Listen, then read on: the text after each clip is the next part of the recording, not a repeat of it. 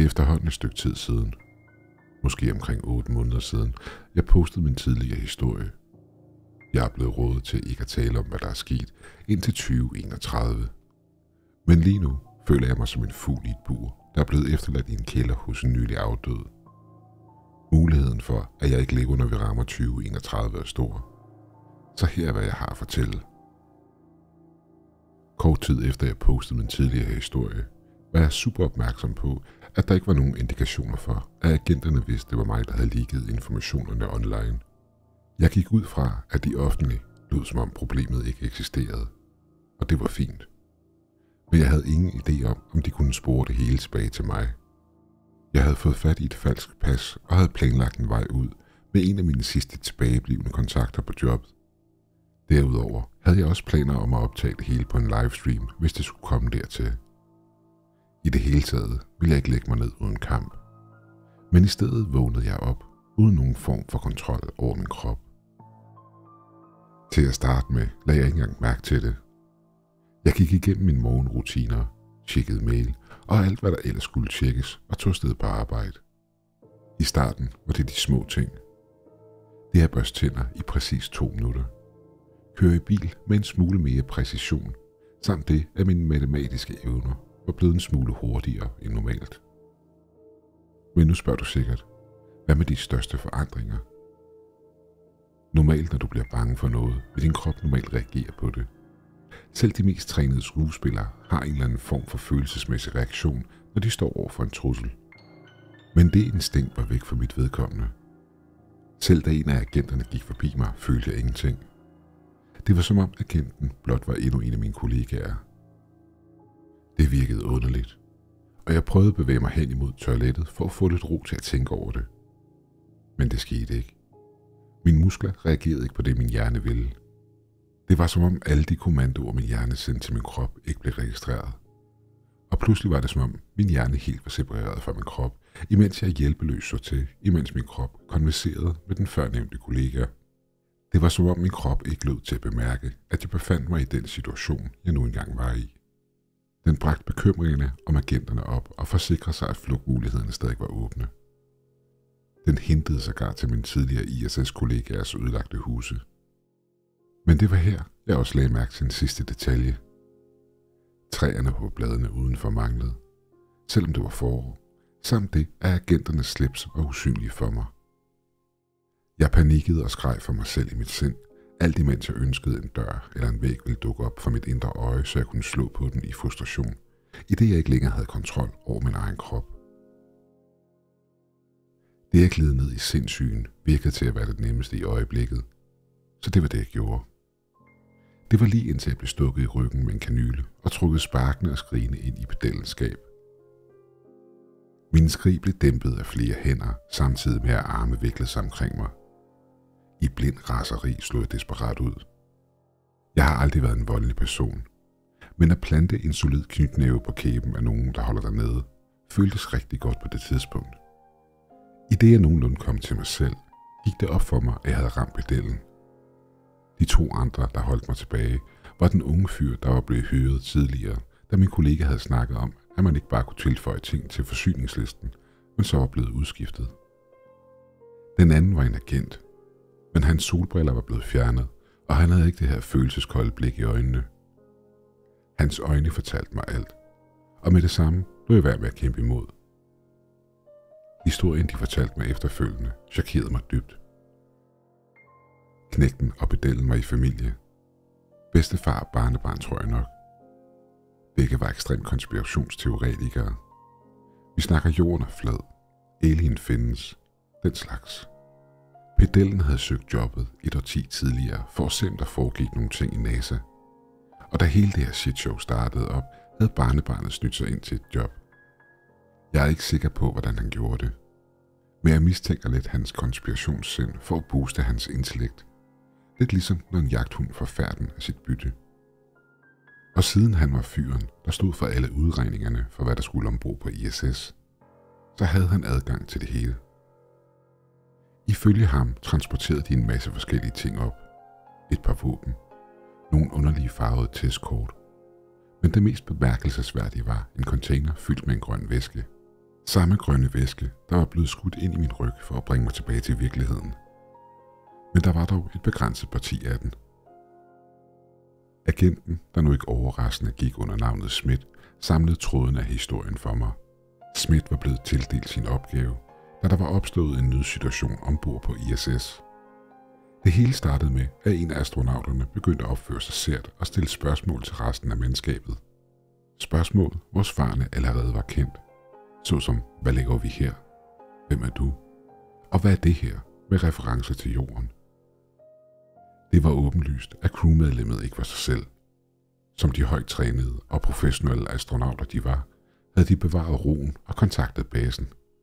Det, der efterfølgende skete, var en række spørgsmål og eksperimenter, der skulle fastslå, hvad det var, der havde overtaget crewmedlemmet, og bringe ham tilbage til sig selv. Hvilket mislykkedes.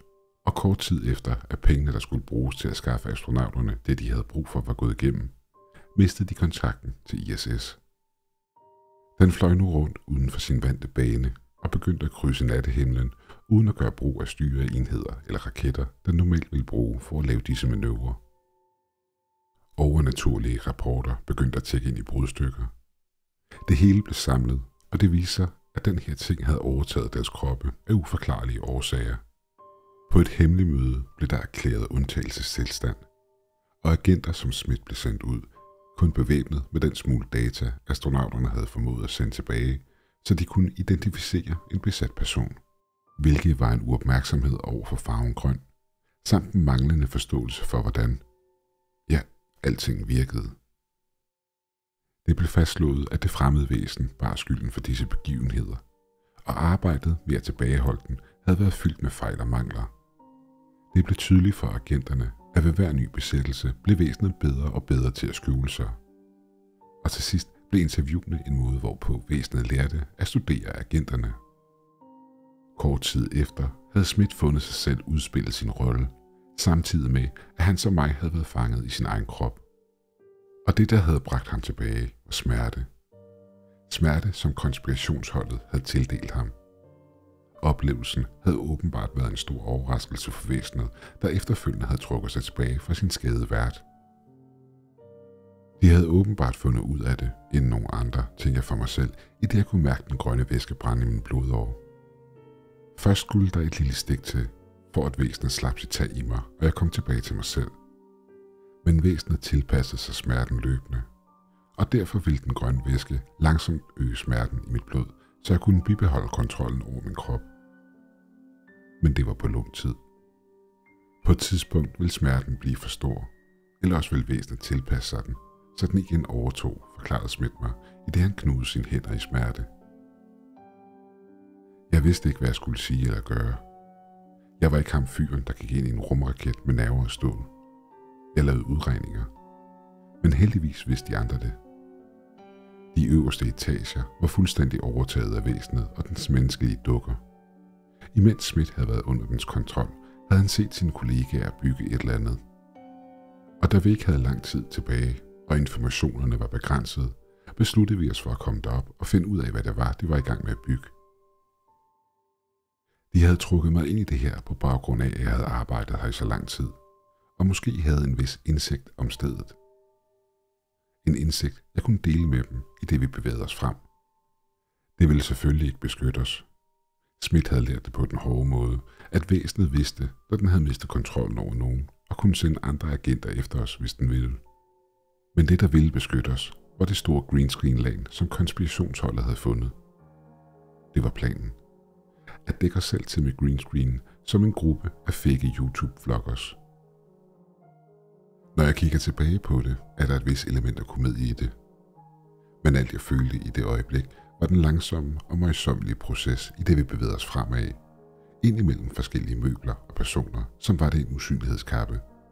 Den eneste ulempe ved det var, at i forhold til en usynlighedskappe, så kan du ikke se igennem en green screen – vi måtte lytte os frem og navigere os igennem det, vi kunne se ved vores fødder. Det lykkedes os at komme længere ind, end nogen af os havde troet, og vi befandt os nu foran indgangen til den øverste etage. Den grønne væske var begyndt at få mig til at føle, at mine indre organer kogte, hvilket gjorde hvert et skridt smertefuldt. Jeg tror, det der fik mig til at fortsætte frem var, at Schmidt havde dobbelt så meget smerte, men endnu ikke var knækket sammen. Trods vi lige havde mødt hinanden, så beundrede jeg hans styrke. Men så indtraf katastrofen. Jeg må huske at give kredit til konspirationsholdet. Ingen af os ville være sluppet fri af væsenet, hvis det ikke havde været for dem, og det, at de havde forfulgt deres sindssyge fantasi. En fantasi, vi nu gennemlevede. Men det at tabe sutten og freak ud, fordi du taber din foliehat i frygt for at blive besat, lige ved siden af en gruppe agenter, det var et dumt træk. Vi dækkede pedellens mund og holdt vejret. Du kunne have hørt en knappenål falde til gulvet. Men det, der brød stillheden, var en bølge af vold. Vi vidste, vi var opdaget. Smith smed greenscreenen fra sig og slog den nærmeste agent i hovedet, så han midlertidigt blev vristet fri af væsenets greb. Agenten blev med det samme opslugt af raseri, ligesom jeg havde været, og slog fra sig. Smith satte sin radio i øret og fik annonceret til alle agenter, der var frie, at væsenet havde kontrollen over bygningen, og at smerte ville sætte folk fri. Stedet udbrød i kaos. Jeg fandt senere ud af, at da Smits oplysninger var viderebragt over radioen, brød et kaoslys på de nederste etager, da væsenet havde trukket våben imod de frie agenter. Forestil dig det ene øjeblik, at du nyder en kop kaffe med en kollega. Det næste øjeblik stikker samme kollega et våben op i ansigtet på dig. Den behandling fik vi dog ikke, da alle på øverste etage var under væsenets kontrol. Så vi blev mødt af en mur af kugleregn. Det tog kun én kugle fra Smits våben. Den første kontrollerede agent blev ramt og langede rasende ud efter den nærmeste agent ved siden af, og så videre og så videre, indtil gulvet var dækket af gennemhullede agenter. Det skete alt sammen så hurtigt, at jeg knap nok opdagede, at jeg selv var blevet skudt. Pedellen lå i en blodpøl på gulvet, imens han dækkede over den unge fyr. Smith tog sig til brystet, hvor tre blodige huller var dukket op. Smerten fra den grønne væske havde nået et punkt, hvor det at blive skudt kun var en lille smule værre. Og nu når vi ikke behøvede at gemme os, stønnede og skreg vi alle sammen i smerte. Men bare tanken om, at væsenet prøvede at kæmpe sig vej tilbage for at få kontrol, var nok til, at jeg sprang til handling. Jeg råbte til den unge fyr, at han skulle se at komme ud herfra, og begyndte at halte mig vej fremad med smidt lige bag mig. Hvordan den mand kunne fortsætte, vil altid være et mysterie for mig. På det her tidspunkt så jeg alt igennem tårer. Dele af væggen og de ledninger, den indholdt, var blevet fjernet og sat ind i midten af etagen, hvor flere af de kontrollerede befandt sig. Det var mine chefer og deres chefer, samt flere af mine kollegaer og venner, der var blevet meldt savnet. Alle stod de bøjet over skrivebordet, imens de nedskrev ting og sorterede materialer fra flere kasser til gulvet. Jeg genkendte straks kasserne som værende dem, der skulle ombord på ISS. Men det, der skilte sig ud fra alt andet, befandt sig i centret af det hele. Det var som et sygeligt og slimet sort net, der var trukket over noget kugleformet, der vred sig i det, der svævede i luften. Inden under netdelen var en serie af sorte former og intet andet. Det begyndte at gå op for mig, hvad den her ting var. Og det, der efterfølgende skete, slog det hele fast. Smith for frem med vreden fra en døende mand, der intet havde tabe. Han hævede sit våben imod væsenet og skreg, at den skulle løslade alle, den havde besat. Da der ikke kom noget svar, åbnede han ild. Eller han prøvede. Hans våben klikkede to gange. I det samme begyndte Smith at reloade sit våben, kun for at finde ud af, at der ikke havde været noget klip i våbnet overhovedet. Våbnet forsvandt pludselig fra hans hånd, og kort tid efter startede Smith med at fade væk. Ja, jeg sagde startede, da det er vigtigt at pointere, hvordan han døde. Det var som om forskellige lag af ham forsvandt. Først hans hud, så hans muskler, så hans knogler, og til sidst hans nervesystem. Alt sammen fjernet fra den her virkelighed. Det værste var dog, at han først stoppede med at skrige, da det sidste af hans krop blev fjernet. Hans skrig ekkoede i alle retninger, inden det fadede helt ud og forsvandt. To følelser skød op i mig. Den første var selvfølgelig en paralyserende erkendelse af, at jeg nu vidste, hvad det generelle koncept af, hvad det her væsen var.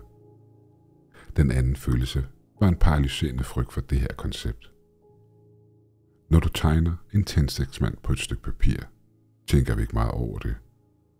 Den tænker til gengæld heller ikke meget over os, hvis vi nu siger, at den var i live. Den har ingen forståelse for vores eksistens. Den kender til op og ned, højre og venstre. Tændstikmanden kan ikke springe fra papiret og ud i vores tredimensionelle verden uden hjælp fra et menneske. Man har længe teoretiseret over, om der fandtes en fjerde dimension. Og nej, jeg tænker ikke her på tid. Jeg taler om en fjerde rummelig dimension.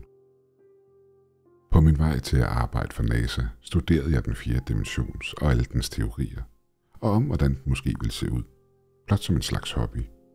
Den måde Smith forsvandt på, går stort set hånd i hånd med den måde, hvorpå det passer ind med, hvordan den fjerde dimension vil se ud. En teori manifesteret. Det er stod i det rum i en utrolig smerte. Jeg var tændstiksmanden. En tændstiksmand, der ikke kunne opfatte dimensionerne omkring sig, eller for den sags skyld det væsen, der nu stirrede ned på papiret, klar til at viske mig ud. Jeg havde ingen steder at løbe hen. Ingen steder at gemme mig. I det øjeblik følte jeg kun, at jeg havde en mulighed. Jeg løb alt, hvad jeg kunne imod den lille del af væsenet, der havde manifesteret sig i centret af rummet og rørt den. Det er ekstremt svært at visualisere for jer, hvad der skete efterfølgende.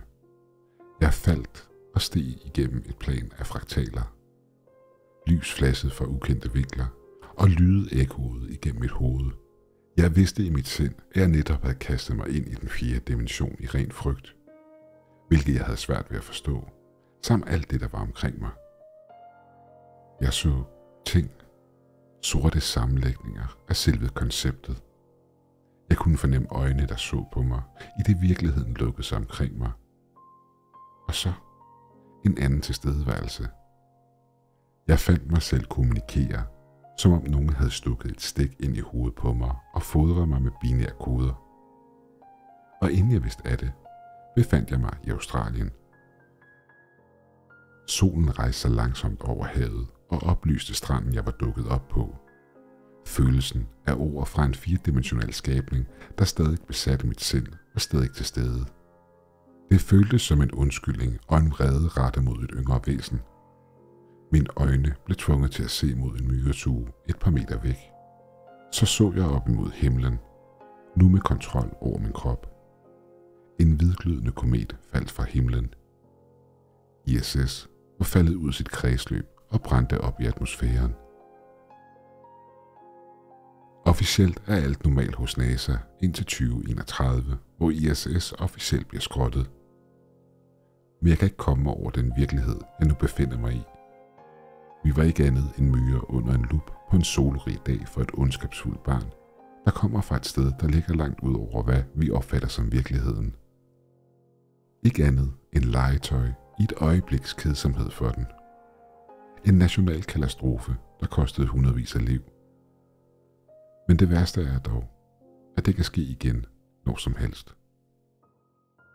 Den fjerde dimension eksisterer, og vi kan intet gøre for at stoppe det, der lever i den.